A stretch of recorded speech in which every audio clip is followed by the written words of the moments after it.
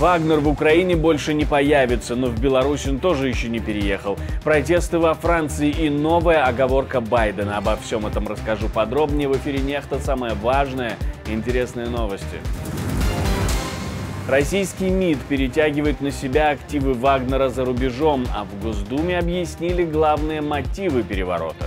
Все это вылилось в попытку государственной измены Обстрел гражданского пункта несокрушимости в Херсоне есть погибшие. Я только выскочила, а тут молодые люди. Бегом, давай быстрее, третий прилет. Мадонна отменяет концертный тур к 40-летию карьеры. Спасибо, что смотрите, спасибо, что доверяете нам. Можно еще поставить лайк видео и прокомментировать его обязательно. И еще подписаться на страничку. Это тоже нужно для того, чтобы нас становилось больше. Начнем.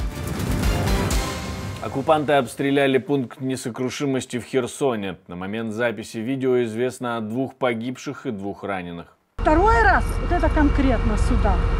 Конкретно сюда. Вот видишь, собаченьками люди занимаются собаки. Там, наверное, собаки погибли. Бегом, давай быстрее, третий прилет. И я только в дверь залетела, и опять третий прилет. Присутствие Вагнера у восточных границ НАТО повлияет на структуру безопасности, и страны Альянса должны тщательно это изучить, говорит президент Польши Анджей Дуда. Мы много говорили об этой ситуации в последние дни с так называемой группой Вагнера, о решениях, которые были приняты в России по этому вопросу и которые, по нашему мнению, должны пробудить глубокую бдительность Североатлантического альянса wzbudzić bardzo baczną czujność Sojuszu Północnoatlantyckiego. Słyszymy wszyscy o tym, że z całą pewnością jest taki plan, bo Мы знаем, что есть такой план, потому что Путин сам об этом сказал, перевести, по крайней мере, часть группы Вагнера в Беларусь, и это очень важный сигнал для нас.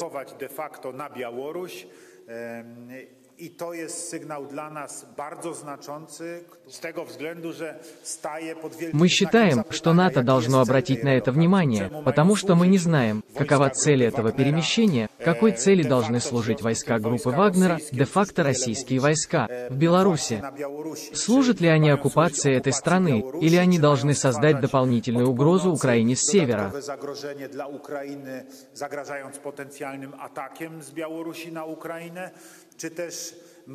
Или они должны стать формой потенциальной угрозы для наших стран, стран НАТО, Польши.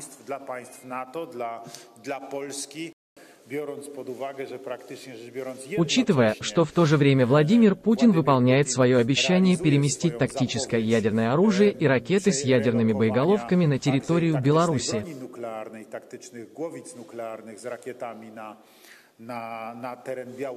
Эти факты настолько значительны, что у нас нет сомнений, что они фактически меняют архитектуру безопасности в нашем регионе.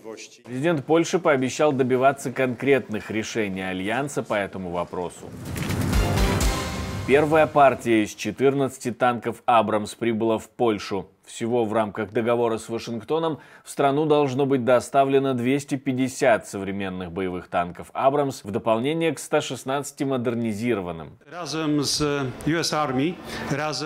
Вместе с армией США, вместе с сухопутными войсками США мы организовали Академию «Абрамс» и наши экипажи из первой Варшавской бронетанковой бригады, которая является частью 18-й механизированной дивизии, так называемой «Стальной дивизии», отвечающей за безопасность часть Восточной Польши, уже прошли обучение. Танки должны перекрыть так называемые Брестские ворота. Это территория, которая тянется с востока, доходит до Вислы, и задача их будет служить закрыть эти ворота, сдержать потенциального агрессора, сделать так, чтобы агрессор не вступил на польскую землю. Вагнер больше не будет воевать на территории Украины, говорит Кирилл Буданов, глава украинской разведки. Более того, в ГУР говорят, что в России уже началась борьба между ФСБ и Министерством обороны. Мы получили компрометацию российского руководства. В очередной раз разрушен миф о непоколебимости российского режима. Были нанесены потери военно-космическим силам РФ. А еще, ЧВК «Вагнер» больше не будет участвовать в боевых действиях на территории Украины. А это самое эффективное подразделение РФ, которое умело добиваться успеха любой ценой. А Кремль решил объявить властям Сирии, Центральноафриканской Республики и Мали, что Вагнер перешел под их контроль. Об этом пишет The Wall Street Journal, и по их информации, через несколько часов после разворота колонны мятежников от Москвы в Дамаск вылетел замминистра иностранных дел России Сергей Вершинин. Вылетел для того, чтобы сказать лично Башару Асаду, что Вагнер больше не действует самостоятельно. Разговоры были проведены с руководством других стран, в которых присутствовал ЧВК «Вагнер», с тем посылом, что «Вагнер – внутреннее дело России». А цитируя советника президента Мали по безопасности, если Москва решит прислать нам Бетховена или Моцарта, мы их получим. Конец цитаты. По разным данным, за границами России в составе ЧВК «Вагнер» действует от 6 до 8 тысяч наемников. В Сирии им приказано явиться на российскую базу в Латакии, что будет с остальными, пока неизвестно.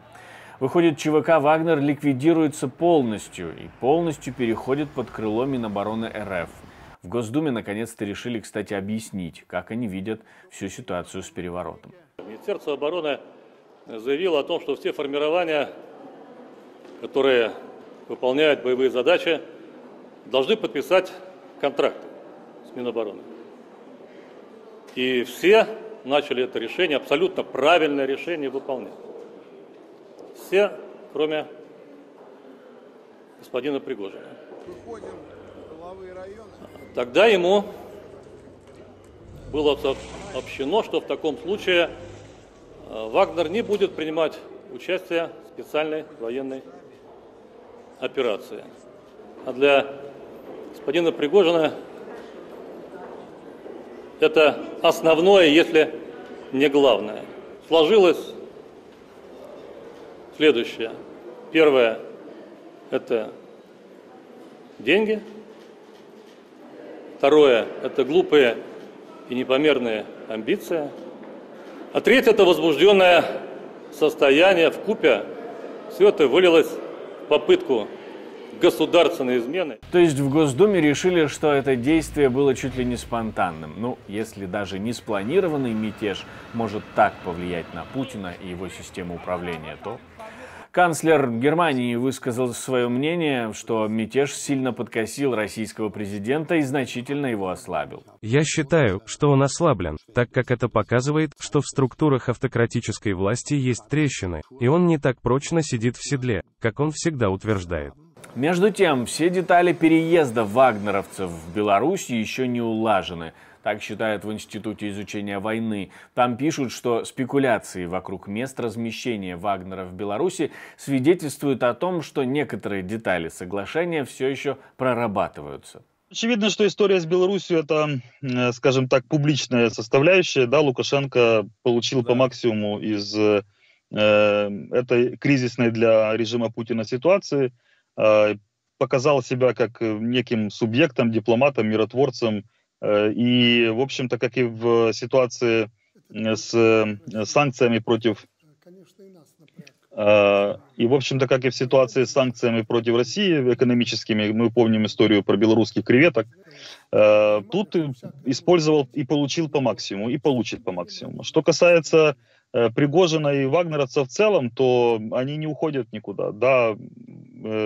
Африка остается, и Беларусь появляется как такое публичное направление, но тем не менее э, активности в России, в том числе и политические, и другие, остаются. А, поэтому то, что мы видим сейчас с передвижениями того же Пригожина, ну, это показывает всему миру, что ничего не закончено. Российские источники считают, что этот мятеж оказал серьезное влияние на всю российскую командную структуру. В то же время и белорусские журналисты подтверждают переоборудование бывшей воинской части в большой военный лагерь. Работы ведутся в деревне Цель в Осиповичском районе Могилевской области, где ранее дислоцировалась 465-я ракетная бригада ВСРБ. Путин проигрывает войну в Ираке, считает американский президент. Трудно проиграть войну, в которой ты не участвуешь, но тут, скорее всего, Джо Байден оговорился. Трудно сказать, но он явно проигрывает войну в Ираке, он проигрывает войну дома. И он стал изгоем во всем мире. И это не только НАТО, не только Европейский Союз, это Япония, это вы знаете. Скорее всего, Джо Байден имел в виду именно Украину. Протесты во Франции расширяются с каждым днем. Протесты распространяются на новые города, и все из-за смерти парня после дорожной проверки полицией. Народным волнением подключились Нант, Тулуза и Леон. В пригородах Парижа в полицию летели коктейли Молотова. В самом Париже серия поджогов. Министр внутренних дел говорит, что задержаны полторы сотни человек. Певица Мадонна вынуждена была отменить концертный тур, посвященный 40-летию карьеры. Она госпитализирована. Из-за серьезной бактериальной инфекции, как говорит ее менеджер, какое-то время она находилась на интенсивной терапии.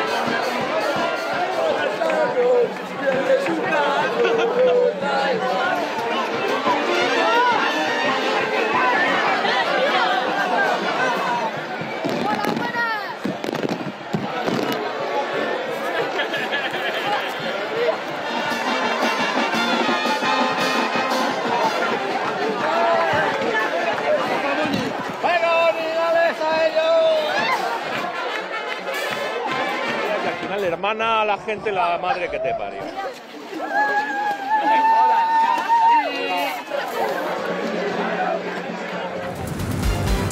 Спасибо за доверие, спасибо, что смотрите, за лайки, репосты и за то, что вы подписываетесь на нашу страничку. Так нас с вами становится больше. На этом все. До скорой встречи и хороших вам новостей.